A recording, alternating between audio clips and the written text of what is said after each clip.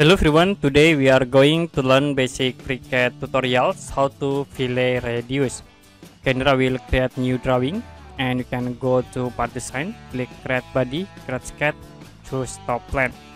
So for example, I will create a rectangle in it.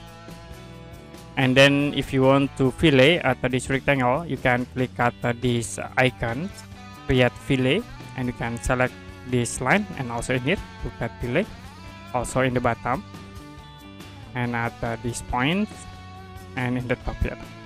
So if you want to set radius into this fillet you can click at uh, this icon constraint arc or circle and select the fillet object.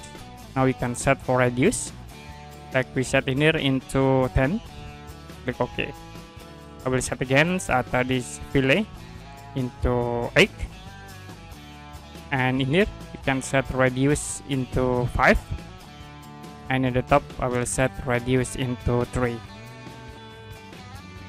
okay that's it for basic FreeCAD tutorials how to fillet radius.